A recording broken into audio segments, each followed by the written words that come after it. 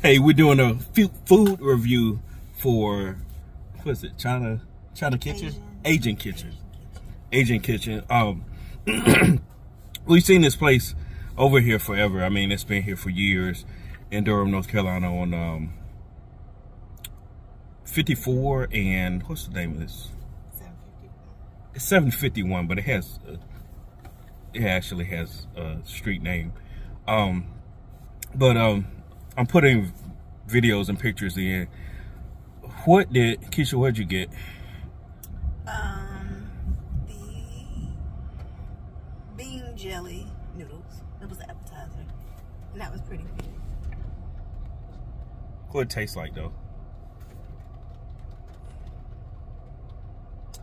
I mean, the noodles didn't really have a taste, but the sauce that was with it. I mean, it's hard for me to tell. Say what it tastes like. Oh, okay. It tastes. It. It tastes like oily with a little spice or something to me. Mm-hmm. Um, and the jelly, like it really was gel like gelatin. Yeah, and it was cold, so that was kind of a surprise. But it was good though. Okay. Um, the dumplings. What we um. It was beef, beef and onion. Beef and onion. Yeah. How'd you like that? Um, those are pretty good. That was really good. Yeah. Yeah. so this place, um, they make their own noodles and dumplings. So anything, anything that will require like flour, they uh, they make themselves, and they they make it in front of you, like when you first walk in. Um, so you can kind of see the method.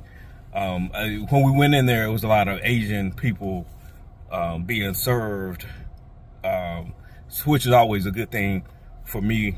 you know, if you go to a you go to a restaurant and um, those people, you go to an Indian restaurant and Indian people are eating, you go to an Asian place, Asian people are eating there, then uh, you pretty much can guarantee it's it's authentic.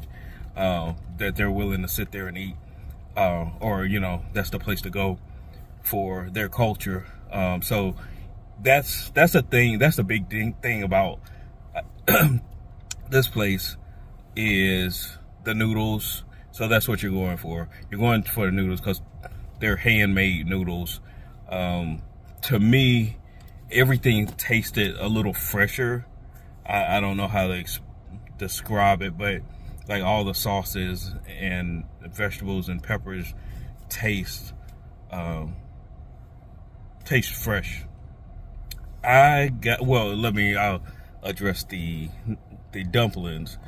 Um, the dumplings had like minced beef in it and and like scallions, and it's just enough meat to where it's good but not too much. And I think sometimes dumplings can either be like super meaty or perhaps they put other ingredients in it to make it less, you know, uh, I guess, I don't want to say less meaty, but uh, less dense. These, the meat was dense, but it wasn't like having a whole big meatball in it and you know, I think people can overdo that sometimes if it's too much meat and it's dense. But they had just kind of the, the perfect amount.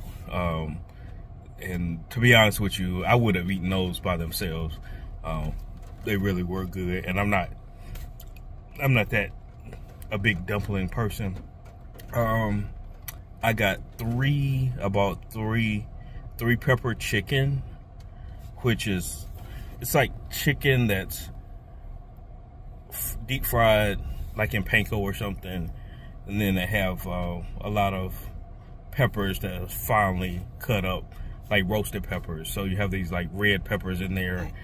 Um, it tasted like there was some sort of vegetable that tastes like mint. It could be mint, could be something else.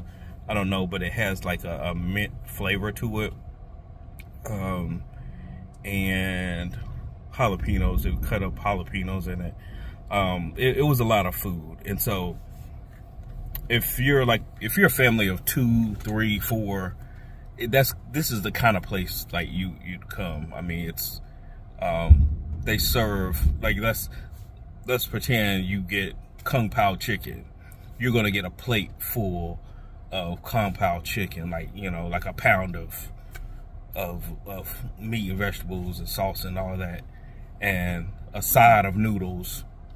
And so it's kind of family oriented, um, and so that's what I would suggest. You know, because the portion sizes are way too big. It's obvious that they're they're meant to be shared. Uh, anything else, you? Mm-mm. That's it. That's it. All right.